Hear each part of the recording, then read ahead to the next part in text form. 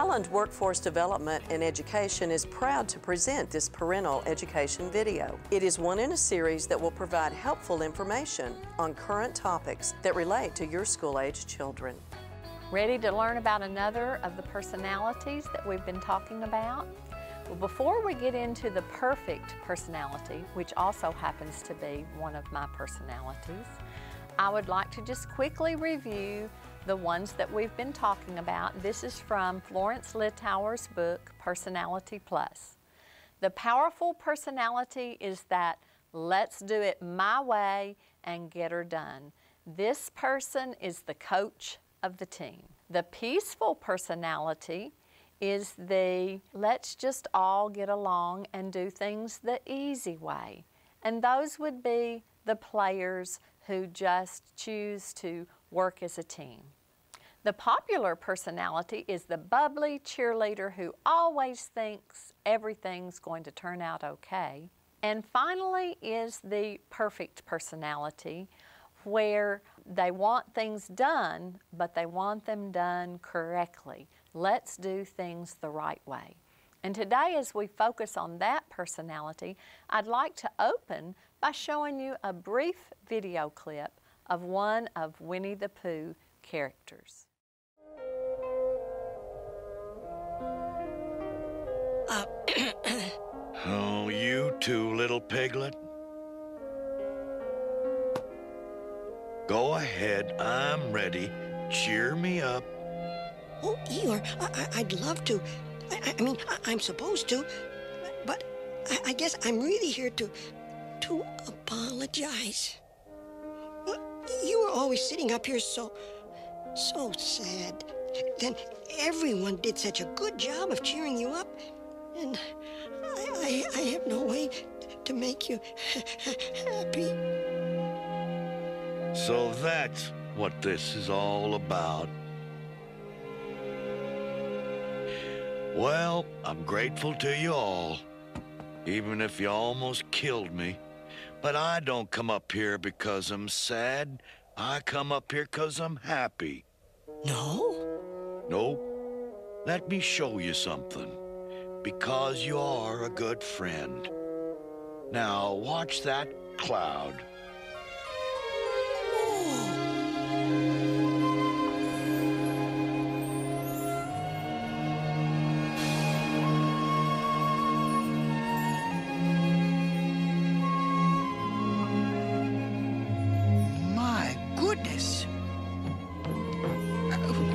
What's going on? Cloud painting.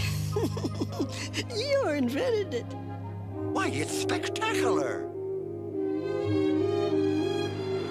Oh, anybody can do it. Just use your imagination.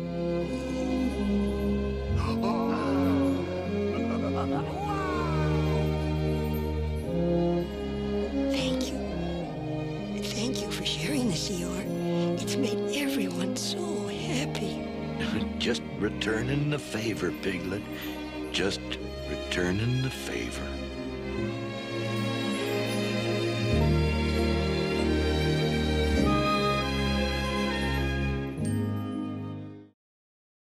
Eeyore wasn't up on that mountain because he was sad, as the others supposed he was. No, he was up there on that mountain thinking and reflecting, and he saw some things that the others had never noticed. Even as babies, perfect melancholies seem to like the quiet, they like a routine, they like a schedule. Our son James wanted his own bed when it was time to go to sleep, and we actually broke the bed because we took it on a trip strapped to the top of our van because he didn't sleep unless he was in his bed. While popular sanguines look for attention from the outside, perfect melancholies look for understanding on the inside. They want someone to understand, truly understand, how they're feeling. Perfect melancholies aren't always able to share how they're feeling. They sort of want you to just understand that and feel like if you truly cared, you would indeed understand how they're feeling. While sanguine children are sharing blow by blow each and every moment of the exciting party they attended, the perfect melancholy child may not want to talk about it at all. They need to get away by themselves and just process the whole event. In fact, people are almost exhausting at times. One thing's for certain if a perfect melancholy child starts to open up to you, you better stop and listen. They're not one to repeat it again if they get interrupted or if you appear not to be interested. Perfect melancholies don't need the fanfare that some personalities need. In fact, a quiet pat on the back and good job whispered in their ear means more to them than all the other excitements and accolades in front of other people.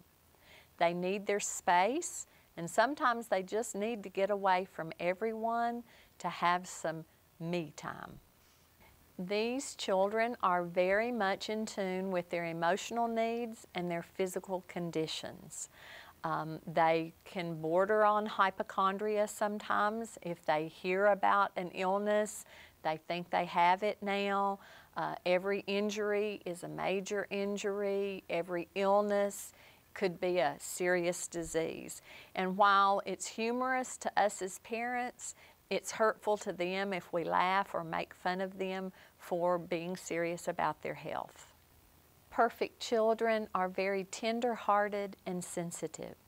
Long after the popular personality has flitted off to the next conversation or the next event, the perfect melancholy child is the one who stays behind to talk to a grandparent or phones an elderly person just to see how they're doing.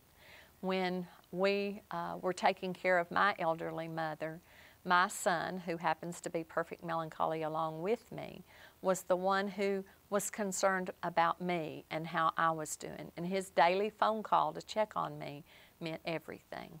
Now I'm going to talk just a little bit about how each of the personalities as a parent should relate to the perfect melancholy child. A sanguine parent who loves to be the life of the party can often embarrass that perfect melancholy child. They interrupt, they uh, get loud, and the perfect melancholy, who is a rule follower and a do what is right, can sometimes be overwhelmed or even embarrassed by the parent that acts that way.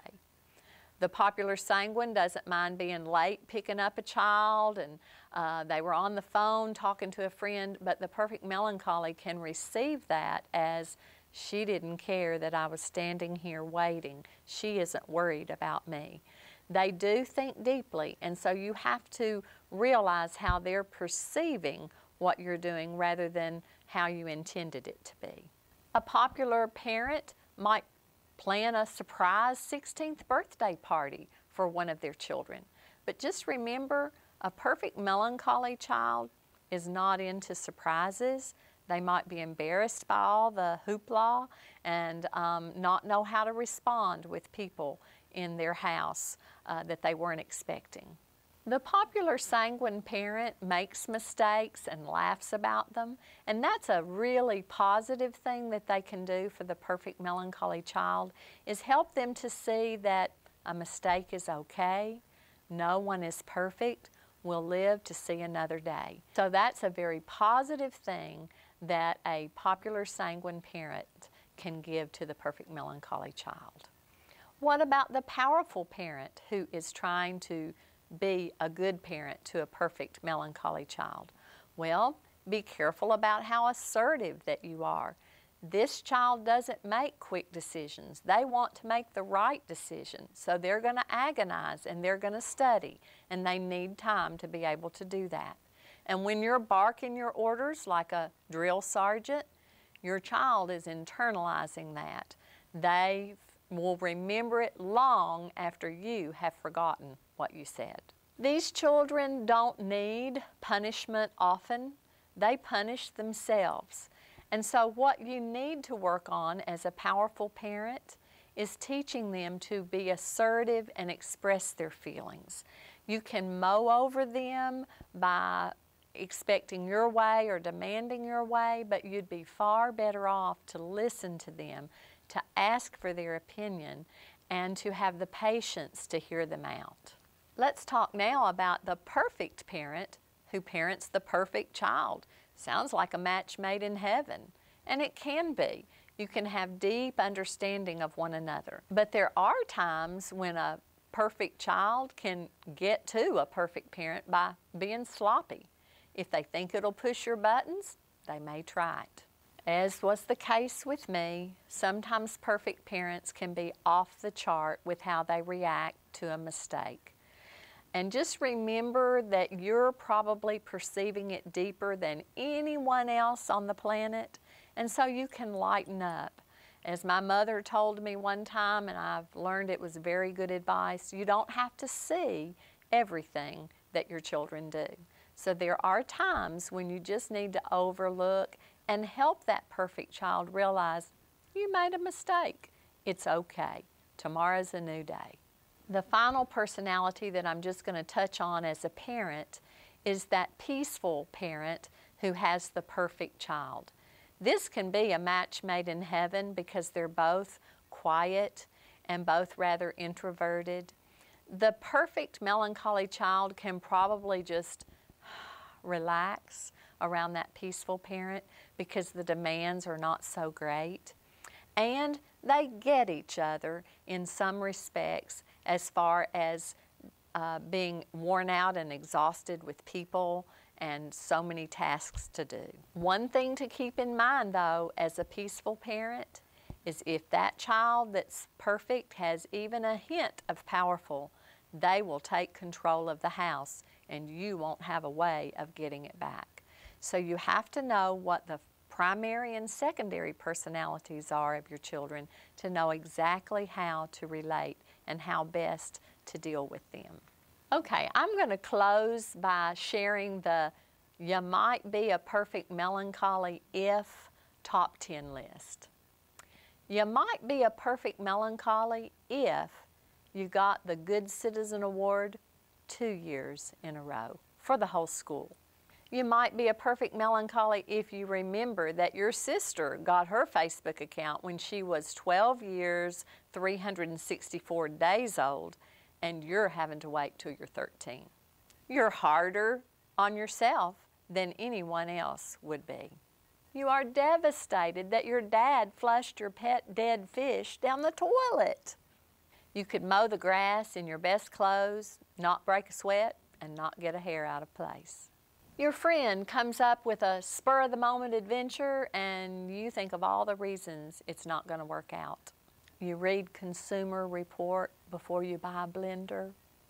You internalize the problems that other people have. You live vicariously through your friend or your spouse who skydives or hang glides doing all the things you wish you had the courage to do. You might be a perfect melancholy because the world needs someone with your heart and your sensitivity and your desire to get things right.